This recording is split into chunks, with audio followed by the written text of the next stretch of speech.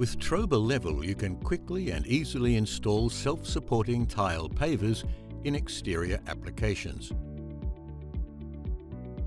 A small number of components can be combined in various configurations to allow for the flush installation of adjacent tile pavers and produce level surfaces over sloped substrates. Open joints allow water to quickly drain through the assembly and eliminate the risk of freeze and thaw damage. The elevated assembly also allows for quick and easy access to the waterproofing or drainage systems below.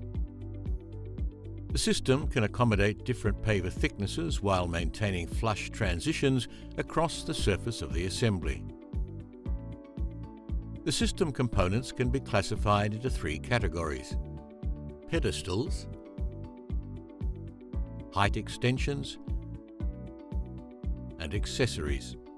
Let's take a look at how the Troba level system works. The Schluter Troba level system and all other installation materials must be installed in accordance with Schluter Systems written installation requirements, all applicable building codes and tile manufacturers' installation instructions. All substrates must be structurally sound and capable of supporting the anticipated loads. The Troba level system can compensate for a substrate slope of up to 10%. Start the paver installation at the highest point of the substrate. For installations at edges or in corners, Troba level PL10 paver supports can be cut into halves and quarters. Score the paver support with a utility knife and bend to snap in half. Use a level to determine the number of Troba level AP1 levelling shims required to bring the paver to the desired height. The maximum number of shims that can be stacked is 10. Troba level PL10 paver supports positioned away from the perimeter can be stacked with a 90 degree offset if needed to obtain the desired height. When stacking halves of Troba level PL10 at the perimeter, First determine how they fit together prior to cutting. Pay close attention to the 90 degree offset of each consecutive paver support to ensure that a spacer tab remains between the paver tile and the perimeter structure or wall. Again, use a level to determine the number of shims required to bring the paver to the desired height. The minimum tile paver width is 85 mm when using Troba Level PL10. For an assembly height of 50mm or greater, Troba level PLA 30 extensions can be used between two Troba level PL10 paver supports. For assembly heights of 60mm, Troba level PLV 60 adjustable paver supports can be used.